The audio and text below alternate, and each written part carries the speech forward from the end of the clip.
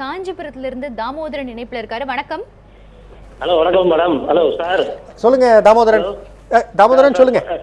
Sir எனக்கு பிரச்சனை sir அதான் சார் இந்த எனக்கு கேல் கேல் பிளடர் பஸ்ட் ஆகி போய் ஒன் இயர் ஆகுது.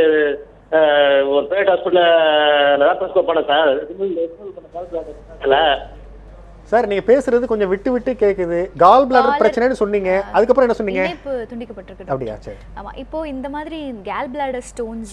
இதனால வந்து பாதிக்கப்படக்கூடிய மக்கள் நிறைய பேர் இருக்காங்க. நிறைய So, இருக்காங்கம்மா இவங்களுக்கு வந்து என்ன ஒரு தீர்வு? கேல் பிளாடர் ஸ்டோன்ஸ் சில பேர் என்ன சொல்றாங்கன்னா அப்படியே கரைச்சிடலாம் இல்ல, இல்ல, சில பேர் வந்து கண்டிப்பா ஆபரேட் பண்ணி தான் ஆகணும் சரி சரி ஓகே அது வந்து ரொம்ப நல்ல கேள்வி. கால் பிளாடர் ஸ்டோன் அது ஒரு ஒரு பிக் டாபிக் அந்த கால் பிளாடர் ஸ்டோன் கால் பிளாடரில் இருந்து பெயின் கொடுக்கலாம். ஒரு மாதிரி கேஸ் ஃபீலிங் கொடுக்கலாம். டிஸ்பெப்சியான்னு சொல்லுவோமா எதுகளிப்பு இந்த மாதிரி பிரச்சனைகள் கொடுக்கலாம். அப்படி இல்லாமல் அந்த ஸ்டோன் அந்த கால் பிளாடர்லேருந்து வெளியில் வந்து பைல் டக்ட்னு சொல்லுவோம். அந்த பைல் டக்டில் போய் பிளாக் ஆகி ஜாண்டிஸ் மஞ்சக்காமலை கொடுக்கலாம். அதுவும் இல்லாமல் சம் சம்டைம்ஸ் என்ன இன்னும் கீழே போய் பேங்க்ரியஸ் கணையத்துலேருந்து வரக்கூடிய ஒரு டக்டோட சேர்ந்து இருக்கக்கூடிய அந்த ஸ்பாட்டில் போய் மாட்டிக்கிட்டு பேங்க்ரியடைட்டிஸ் சிவியர் பெயின் அதாவது ஒரு மாதிரி தீக்காயம் மாதிரி அந்த பேங்க்ரிய ஏற்பட்டுரும் அந்த பேங்க்ரியாஸுக்கு சம்டைம்ஸ் இன்டென்சிவ் கேர் யூனிட்டில் போய் அட்மிட் ஆகிற அளவுக்குலாம் வந்துடும் it's it can even be an life threatening condition இந்த மாதிரி நிறைய பிரச்சனைகள் கொடுக்கலாம் அந்த கால் பிளாடர் ஸ்டோன் அந்த ஸ்டோன் வந்துருச்சு பிரச்சனைகள் கொடுக்க ஆரம்பிச்சிடுச்சு அப்படின்னு சொன்னால் அதற்கு பெஸ்ட் ட்ரீட்மெண்ட் லேப்ரோஸ்கோபி பண்ணி அந்த கால் பிளாடரை ரிமூவ் பண்ணிடுறது தான் மருந்து கொடுத்து கரைக்கிறதோ அல்லது வேற நிறைய தண்ணி குடிச்சு அந்த ஸ்டோனை பாஸ் பண்ண வைக்கிறதோ இதெல்லாம் வந்து சயின்டிஃபிக்கலி அப்ரூவ்டு மெத்தட் கிடையாது. கேட்கக்கூடிய கேள்வி இதே தான் எடுத்துக்கலாமே. கரெக்ட் நீங்கள் கரெக்டாக சொல்கிறீங்க பேஷண்ட்ஸ் வரும்போது இதே தான் கேட்பாங்க.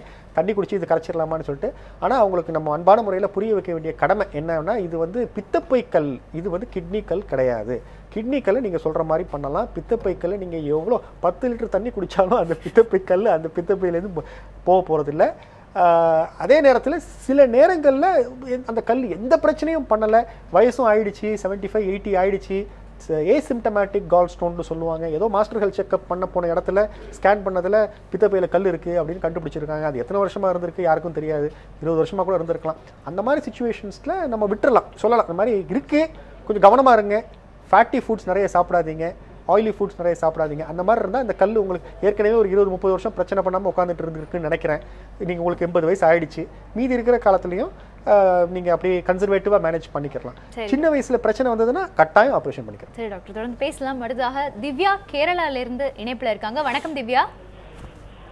வணக்கம் மேடம் நான் ஒரு மூணு கொஸ்டின் கேட்கணும் டாக்டர்கிட்ட நிச்சயமா கேளுங்க.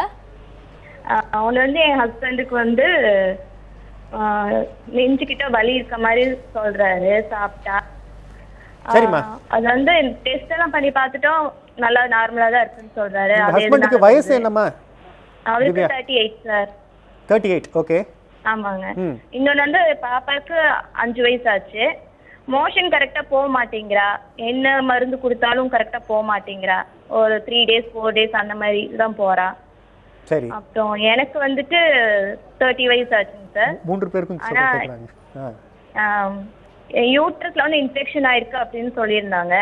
மாத்திரை மருந்து சாப்பிட்டு இப்ப அந்த பெயின் எல்லாம் இல்ல. இதனால ஃபியூச்சர்ல ஏதாவது ப்ராப்ளம் வருமா? என்ன அந்த- மூணு மூணு கொஸ்டின் எனக்கு பதில். யூட்ரஸில் என்ன சொன்னீங்க? யூட்ரஸில் இன்ஃபெக்ஷன் ஆயிருக்குன்னு சொல்லியிருந்தாங்க.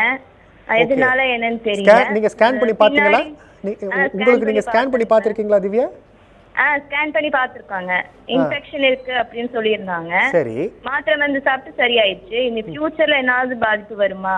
நிகழ்ச்சிக்கு அழைத்ததற்கு நன்றி. நிகழ்ச்சி தொடர்ந்து பாருங்க. உங்களுடைய மூணு கேள்விகளுக்கும் சார் வந்து இப்ப சிறந்த ஆலோசனைகளை தருவாங்க.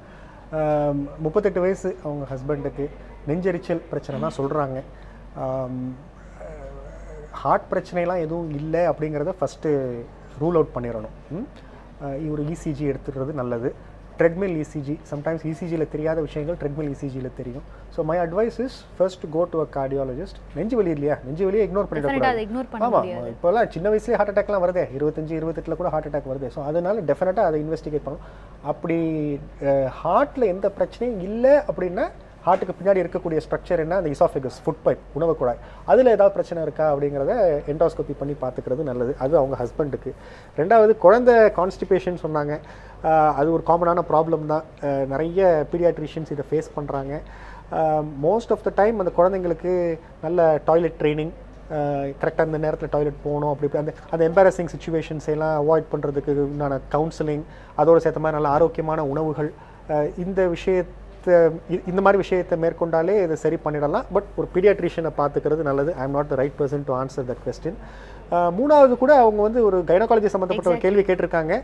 மேபி ஒரு கைனகாலஜிஸ்ட் இந்த ப்ரோக்ராமுக்கு வந்தால் அவங்க உங்களுடைய சந்தேகங்களை அவங்க கேட்டுக்கலாம். பட் இன்ஃபெக்ஷன் gynecology- அவங்க யூட்ரஸில் இன்ஃபெக்ஷன் சொல்கிறாங்க அது எக்ஸாக்டாக எனக்கு அவங்க என்ன மீன் பண்ணுறாங்கன்னு புரியல. பிகாஸ் ஸ்கேனில் வந்து பெருசாக இன்ஃபெக்ஷன் தெரியாது. மேபி யூரினரி இன்ஃபெக்ஷனை சொல்கிறாங்களோ என்னவோ யூரின் டெஸ்ட் பண்ணி பண்ணியிருக்கலாம் பட் இன்ஃபெக்ஷனாக இருந்தால் ஆன்டிபயோட்டிக்ஸ் கொடுக்கணும். ஆன்டிபயோட்டிக்ஸ் பண்ணி சரி பண்ணியிருக்கலாம் இப்போ இருக்கிற ப்ராப்ளமை அவங்க அநேகமாக she has to go to gynaecologist and get it சரி டாக்டர் இறுதியா ஒரு நேர் இணைப்புல இருக்காரு. திருவாரூர்ல இருந்து குமரன் வணக்கம்.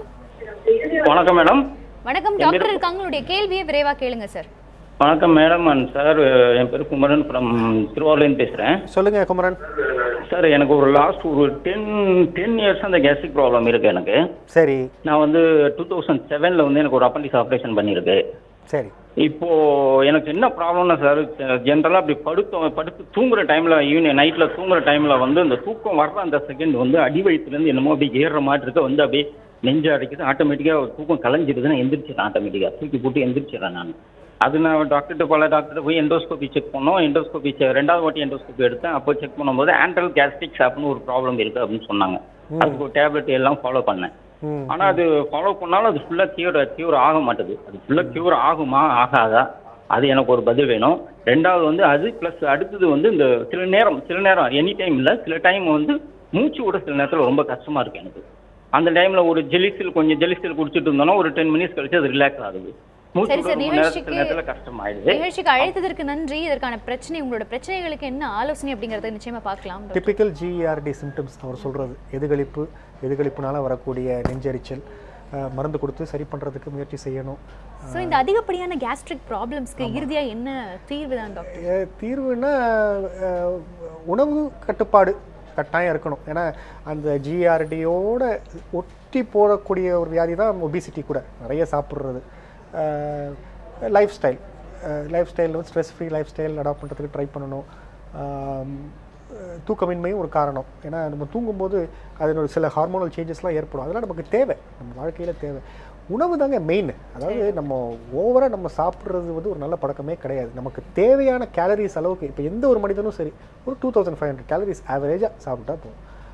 அது கொஞ்சம் வித்தியாசப்படலாம். ஆணுக்கும் பெண்ணுக்கும் வித்தியாசப்படலாம். கொஞ்சம் ஹெவி லேபர் பண்ணுறவனுக்கும் செடென்ட்ரி லைஃப் இப்போ around two thousand five hundred three thousand calories நம்ம ஐயாயிரம் கேலரிக்கு நம்ம சாப்பிட்டோம்னா என்ன ஆகும்? மீதியெல்லாம் அப்படியே ஃபேட்டாக தான் நமக்கு நிறைய ஆமாம் நமக்கு நிறைய தேவைப்படுற கேலரிஸ் மட்டும் நிறைய வசதி இருக்கு நிறைய சாப்பிட முடியும்னா அதை நம்ம அது வந்து நாலு பேருக்கு தர்மம் பண்ணி உதவி செஞ்சிடலாம். அந்த பணத்தை வச்சு நம்மளே போட்டுக்கிட்டு நிறைய வாங்கி சாப்பிட்டு இது பண்ணி அதை ஒட்டி தொந்தரவு வந்து அதுக்கு மேற்கொண்டு பண செலவு பண்ணிட்டு எங்களை மாதிரி டாக்டர்ஸை வந்து பார்க்கறது தேவையே இல்லை.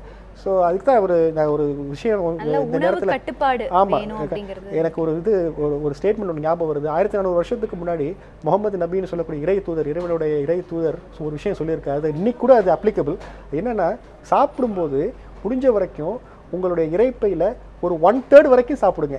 ஒன் தேர்டில் தண்ணி குடிச்சிருங்க. இன்னொரு ஒன் தேர்டை காலியாக வச்சிருங்க. போட்டு வயிறை ஃபுல் படுத்திடாதீங்க அந்த மாதிரி நீங்கள் ஃபுல் படுத்துனீங்கன்னா உங்களுக்கு நிறைய வியாதிகள் வரும்னு சொல்லியிருக்கேன். அது நான் இன்னைக்கு நான் ஃபாலோ பண்ணுறதுக்கு ட்ரை பண்ணுறேன் என் பேஷண்ட்ஸ்க்கு நான் டாக்டர். நிகழ்ச்சிக்கு வந்து இவ்வளவு சிறந்த ஆலோசனைகள் கொடுத்ததுக்கு மிக நன்றி.